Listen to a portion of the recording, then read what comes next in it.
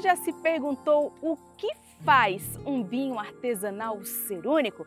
Por trás de cada garrafa há uma história de tradição, paixão e dedicação à terra. Hoje nós vamos conhecer a incrível trajetória de Ronaldo Triaca, um produtor que transformou a pequena vinícola em um símbolo de excelência, graças ao trabalho e ao reconhecimento do Prêmio CNA Brasil Artesanal de Vinhos e Espumantes. Prepare-se para uma jornada pelos vinhedos onde cada uva conta uma história.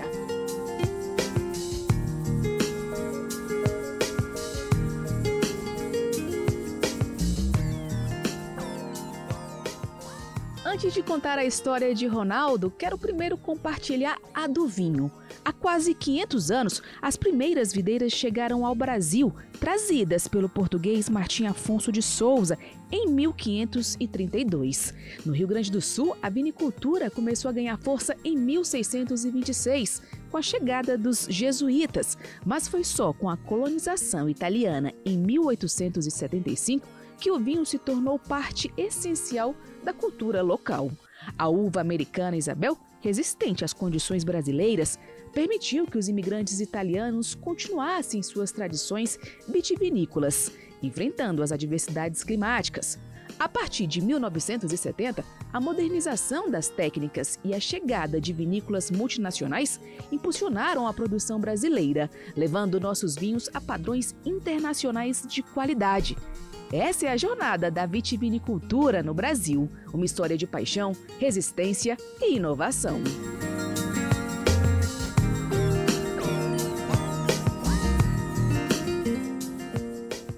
Elaborar vinhos é muito mais do que simplesmente engarrafar algum produto.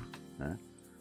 É, tem relação com paixão, com ciência, com resiliência, é, com conhecimento, é, é, um conjunto de fatores, na verdade. Né?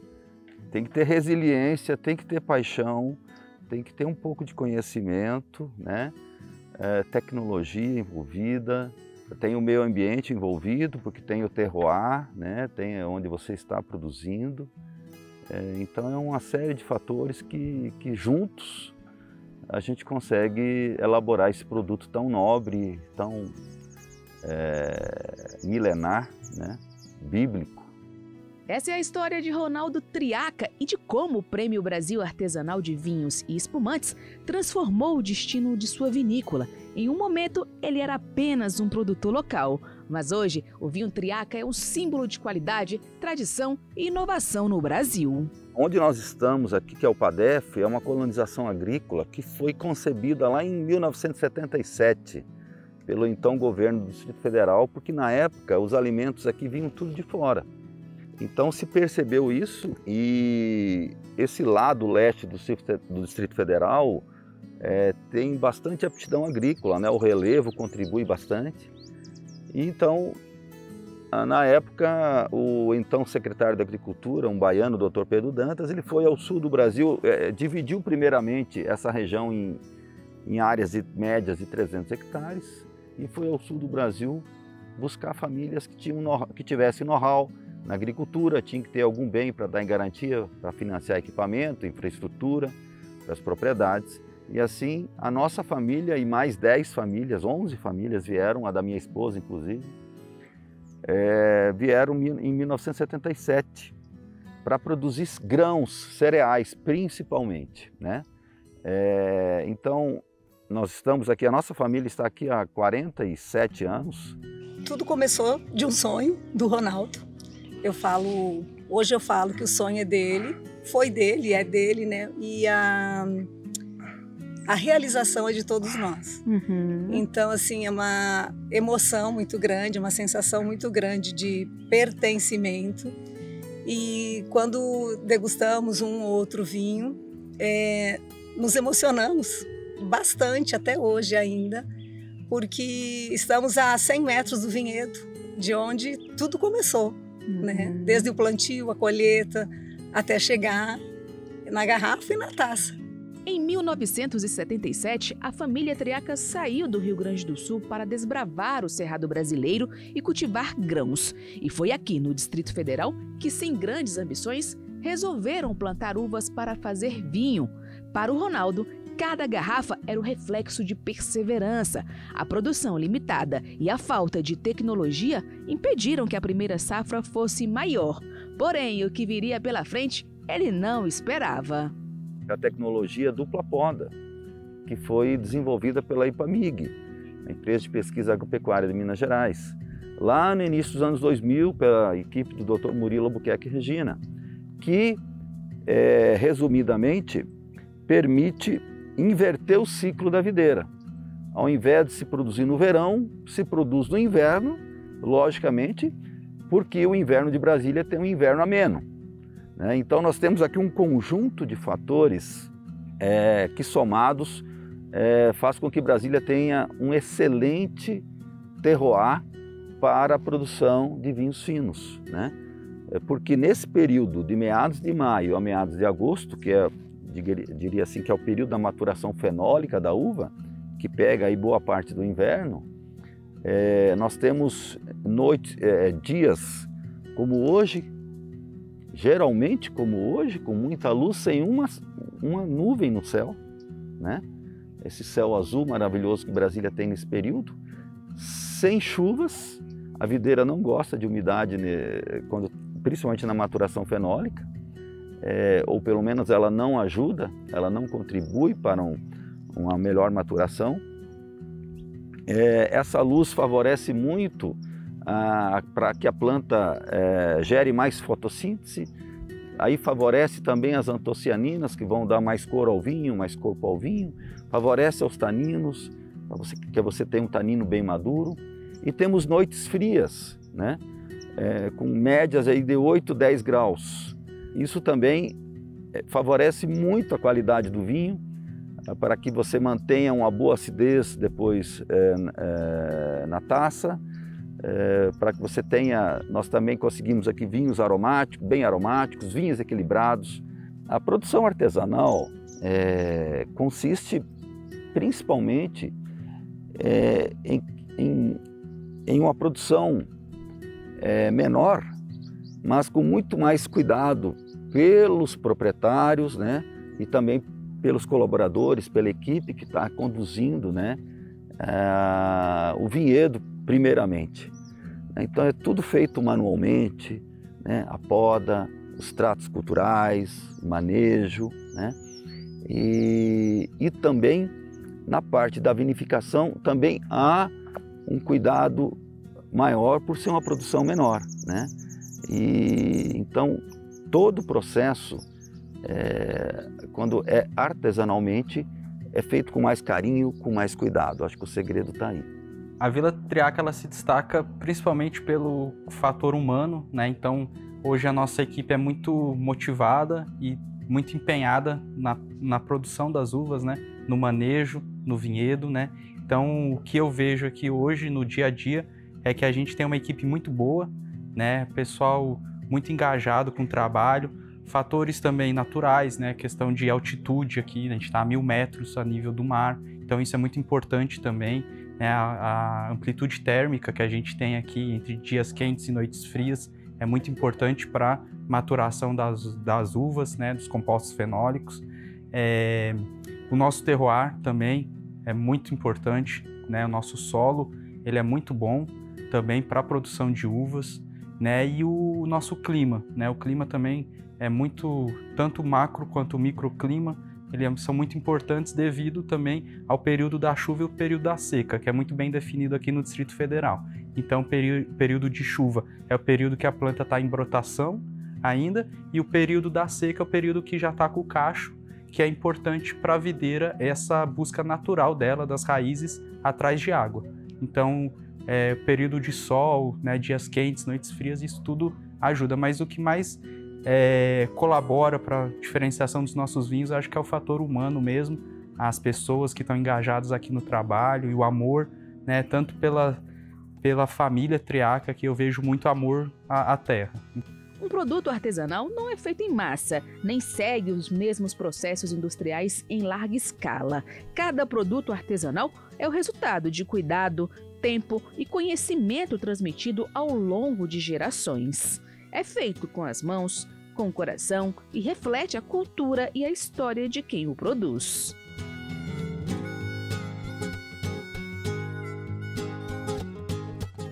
A grande virada para Ronaldo e o vinho veio com o prêmio CNA Brasil Artesanal de Vinhos e Espumantes, uma iniciativa da Confederação da Agricultura e Pecuária do Brasil. A premiação reconhece e promove pequenos e médios produtores do país, destacando aqueles que mantêm viva a produção artesanal. Foi mais um, um, um sinalizador esse prêmio né, para uh, os amigos é, companheiros aqui que produzem vinhos também. Né? É, já há outras premiações de outros produtores, né? nosso também, mas é, esse prêmio, sem, sem dúvida, foi mais uma sinalização de que é, se todos nós trabalharmos com afinco, com dedicação, com resiliência, usando tecnologia, é, haverão muitos outros prêmios, não só para o seu Claudino, mas para os outros produtores também. Então, com certeza, foi um incentivador muito grande para todos aqui. Muito emocionante para nós, assim, é, ficamos entre os cinco classificados e quando fomos para Bento, para a premiação, é, tivemos a grata surpresa de ficarmos em primeiro lugar e a gente ficou muito feliz. É, tivemos assim uma, uma boa aceitação das pessoas, assim, esse prêmio trouxe um bom retorno, né? É, nós vendemos muito rápido o nosso vinho, é, então assim, o vinho com bastante qualidade e nos trouxe muitos clientes, né? Então, isso fez com que a Vila Triaca ficasse mais conhecida. E a história de Ronaldo Triaca não para por aqui. Depois do intervalo, você vai ver como o prêmio CNA abriu novas portas para a vinícola e transformou o vinho artesanal em um sucesso. Não saia daí, voltamos já.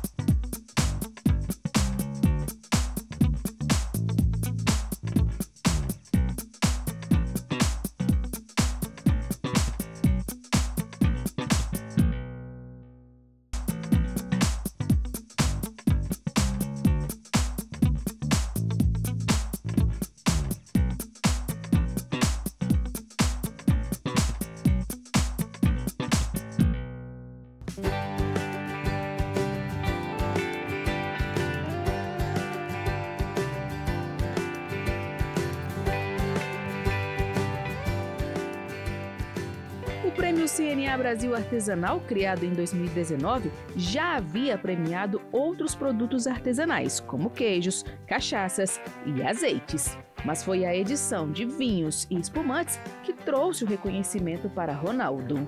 A visibilidade que o prêmio trouxe mudou tudo, desde a produção até as vendas, colocando o vinho Seu Claudino no mapa do Brasil. Selo de qualidade e visibilidade proporcionado pelo prêmio CNA Brasil Artesanal, a demanda pelo vinho da Vila Triaca explodiu. O que antes era uma produção regional, agora começa a ganhar espaço em outros estados e até negociações para mercados internacionais. O segundo grande momento, sem dúvida, foi essa premiação que para nós é, foi assim um divisor de águas é, porque a gente, recém começando, aprendendo ainda a elaborar vinhos, é, com tão pouco tempo, a gente competindo aí com mais de 70 vinícolas a nível nacional e, e vinícolas, é, é, sem dúvida, todos que participaram dessa, desse concurso são vinícolas é, de, de ótimo nível, né? E a gente, só de ter ficado entre os cinco finalistas, para nós já estaria de bom tamanho. Né? Mas a gente alcançando o primeiro lugar, então para nós realmente foi é um, um, um marco histórico para a Vila Triaca e, sem dúvida, como eu falei, um divisor de águas, porque nós obtivemos um reconhecimento muito maior né, a nível nacional e, e também é, uma visibilidade muito maior. Tanto que nós é, produzimos 3 mil garrafas dessa, dessa safra 2022 do seu Claudino, que foi o, o vencedor como o melhor vinho tinto brasileiro. É, e a gente é, esperava que tivesse esse vinho por mais tempo um pouco, mas infelizmente ou felizmente, né, é, nós já é, comercializamos todo praticamente essa safra. A Embrapa nós temos desenvolvido pesquisas para regiões do Cerrado brasileiro, é, projeto Trijunção, por exemplo, e temos acompanhado, degustado vinhos, é, passado informações e ajudado os produtores ali do DF, do Distrito Federal, da Vinícola Brasília. É, colegas do Instituto Federal de Bento Gonçalves estão fazendo trabalhos de pesquisa nesse momento para entender a, a fertilidade da gema, a produtividade dos vinhedos, ajustando podas juntamente com enólogos, trazendo tecnologias para poder aprimorar esse, esse, potencial. Nós estamos nesse momento elaborando um projeto de pesquisa, o Embrapa Vivinho, o Embrapa Cerrados, com a Vinícola Brasília, para poder mostrar tecnologias nossas que possam contribuir com esse cerrado brasileiro, como variedades da Embrapa mais resistentes, porta-enxerto, sistema de condução, leveduras, quem sabe. Então, a nossa missão aqui no Rio Grande do Sul é contribuir com o desenvolvimento sustentável da viticultura eh, de inverno, particularmente é, no Distrito Federal, e nós temos que dizer que os vinhos já estão ganhando premiações com videiras muito jovens. Como eu disse, com 3, 4, 5 anos, já ganharam prêmios em um concurso do ano passado, como a Vila Triaca, por exemplo, Ercoara, estão ganhando prêmios esse ano também. Então a tendência é que os vinhos de inverno do Brasil, do DF, do Planalto Central, do Cerrado Brasileiro, aumentem cada vez mais.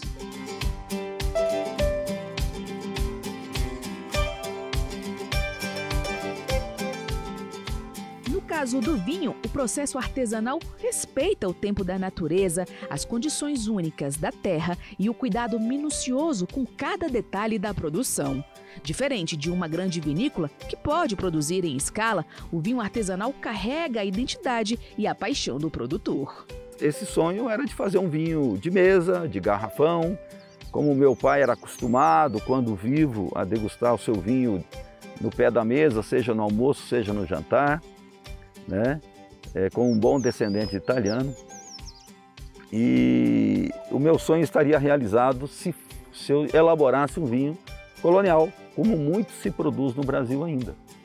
Mas o sonho foi além porque, conhecendo essa técnica, essa tecnologia dupla poda, uh, a gente percebeu que era possível fazer vinhos finos aqui, produzir vinhos finos e vinhos com qualidade por todos esses fatores que eu citei.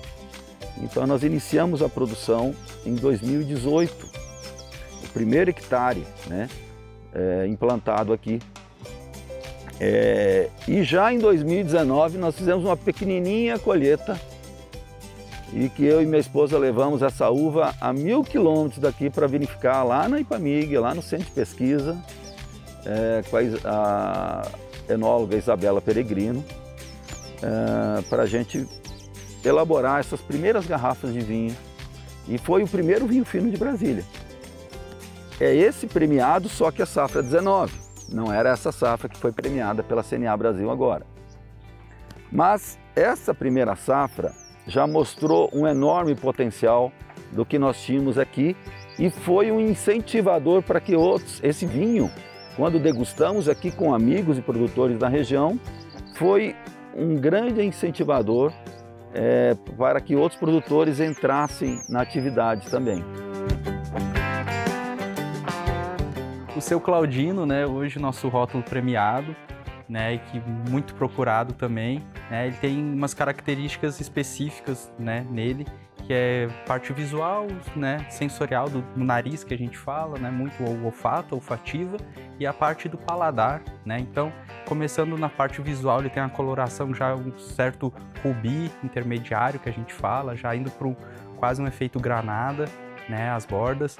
A parte do, do nariz, né, então ele remete muito aromas de frutas negras, né, bem maduras. Né, tem um pouquinho de um chocolate, de um café, de um charuto, tabaco, né, que remete à barrica, né, a barrica de carvalho francês e americano, que ele passou oito meses em barrica. Então todos esses aromas eles conseguem é, tornar um vinho único, né, pro, pro, pro nosso nosso nosso seu Claudino aqui.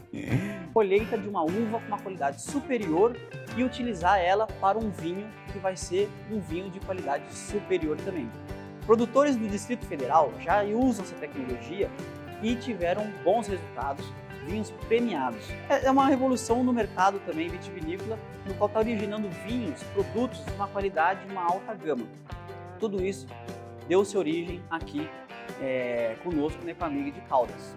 Quem visita a Vila Triaca também se torna parte da história da produção de vinhos no Brasil, conhecendo a história da bebida, em especial no Distrito Federal, onde a qualidade é garantida por dois fatores cruciais: sanidade e maturação das uvas. Muitas vezes convencer né, o cliente de estar tá levando um vinho nacional, ainda mais de uma região que não é muito forte ainda na área vitivinícola, que é o caso do Cerrado, né, do Distrito Federal, o caso do Goiás e Distrito Federal. Mas a gente procura sempre é, é, mostrar o potencial que a gente tem nos nossos vinhos, né, até para o cliente mesmo estar, tá, quando acaba degustando o vinho, acaba comprando aí umas garrafas. Com o reconhecimento do Prêmio CNA Brasil Artesanal, o público aumentou e o espaço enoturístico da Vila Triaca, rodeado por riquezas naturais, começou a transportar os visitantes para uma atmosfera da Toscana ou do sul do Brasil. Agora, a intenção de Triaca é exportar. Hoje a gente não exporta por não ter volume, né? mas claro, a gente está já até é, é, se preparando para isso, né? A PEX Brasil, inclusive, tem nos ajudado nisso, é, para estarmos aptos para a exportação, porque logo ali na frente, claro, que a gente pretende também trabalhar com exportação. Mas hoje há uma demanda a nível nacional por profissionais do mercado do vinho. Né? A gente tem o, o, a, os nossos vinhos também em restaurantes é, renomados aí da capital brasileira, né, de Brasília é, e também já em outras cidades brasileiras. Ronaldo Triaca provou que o artesanal pode sim alcançar o mundo sem perder a essência.